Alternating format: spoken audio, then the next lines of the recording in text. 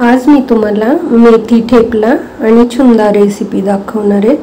तर आठ ते दहा दिवस टिकणारी ही रेसिपी अगदी आहे अशी मौसर राहण्यासाठी काही टिप्स मी सांगितलेल्या आहेत. आणि त्याच्यासोबतच ही छुंदा रेसिपी पण दाखवणार आहेत. करूया आपण रेसिपीला सुरुवातच. सुरुवातीला एक परात घेतलेली आहे स्टीलची आणि या स्टीलच्या परातीमध्ये मेजरमेंट कप आणि तीन कप गव्हाचं पीठ काढून घेतलेले. तर कुठल्याही भांड्याचा वापर तुम्ही केला या ठिकाणी तरी चालेल.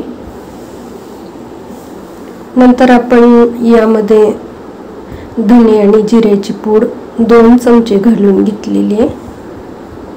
पाव चमचा हिंग घालून घ्यायचं आहे नंतर तीन मोठे चमचे तीळ घालून घेतलेले. दीड चमचा कश्मीरी लाल मिरची पावडर घातलेली.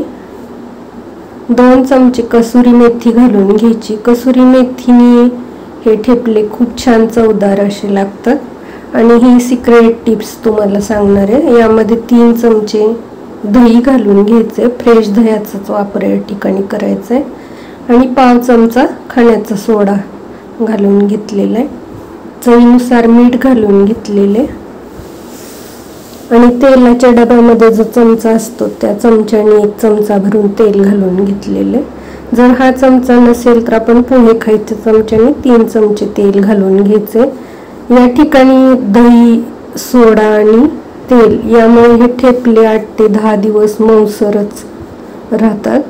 तर हे सर्व साहित्य कोरडं असतानाच हाताने छान असं मिक्स करून घ्यायचे पूर्ण तेल दही आणि खाण्याचा सोडा या पिठाला लागला पाहिजे. तर छान असं हे हाताने कोरडं मिक्स करून झाल्यानंतर थंड पाण्यानेच आपण जशी पोळ्यांची कणिक भिजवतो त्या पद्धतीने हे पीठ भिजवून घ्यायचं. पोळ्यांची कणिक कशी भिजवतो त्यापेक्षा थोडीशी घट घट्टसर अशी ही कणिक मळून घेतलेली आहे. दहा ते पंधरा मिनटासाठी झाकून ठेवून द्यायची.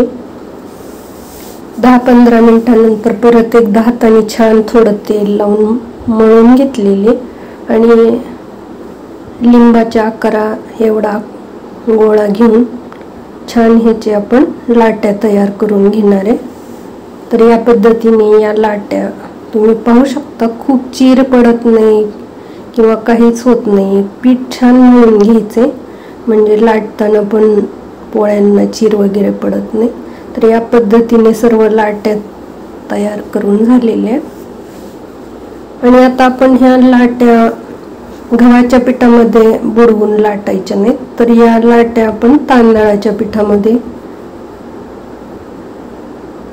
बुडवून लाटून घ्यायच्यात. गव्हाच्या पिठात जर तुम्ही हे ठेपले लाटून घेतले तर ते जास्त चिवट चिकट होण्याची शक्यता असते. त्यामुळं ही टिप्स फार महत्त्वाची आहे. हे तुम्ही तांदळाच्या पिठामध्येच बुडवून लाटून घ्यायचे. तर छान अशी हे पातळसर लाटून झाल्यानंतर एकसारखा आकार येण्यासाठी एखाद्या डब्याच्या झाकणाने तुम्ही हे ठेपले कट करून घेऊ शकताय. तर या पद्धतीने हा ठेपला लाटून तयार झालेला आहे. तुम्ही पाहू शकता खूप पातळसर असे ठेपले लाटून घ्यायचे.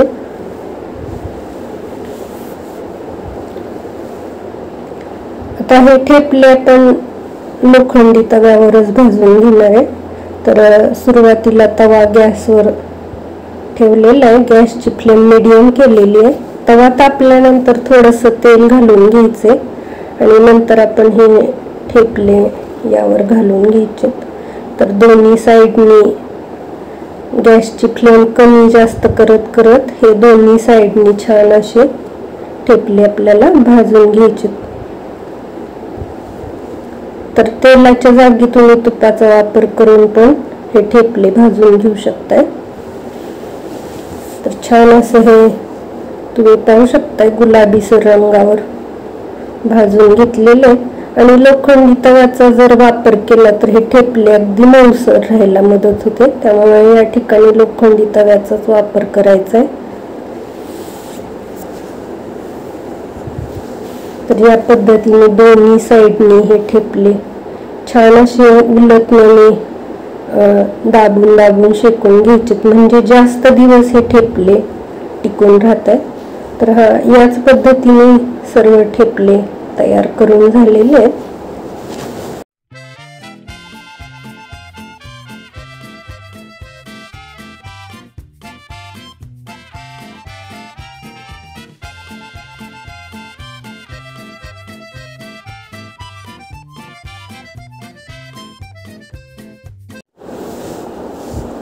तर ही ठेपला रेसिपी तुम्ही पहा. खूप मऊसर असे हे ठेपले तयार होतात. तर दोन ते तीन चमचे दही आणि पाव चमचा सोडा आणि दोन ते तीन चमचे तेल घातल्यामुळं ठेपले आहे असे मऊसर राहतात. तर या पद्धतीने हे ठेपले सर्व तयार करून झालेले. आणि आता आपण छुंदा रेसिपी पाहतो तर ठेपल्यासोबत खूप छान चव लागते या छुंद्याची. तर चुंदा बनवण्यासाठी स्टीलची कढई घेतलेली आहे. आणि कढईमध्ये एका वाटीने एक वाटी भरून कैरीचा किस घेतलेला आहे किसून. थोडंसं जाडसर असा हा किस किसून घेतलेला आहे. त्याच वाटीने एक वाटी भरून साखर घालून घेतलेली आहे. नंतर पाव चमचा हळद घालून घ्यायची. थोडंसं मीठ घालून घ्यायचे.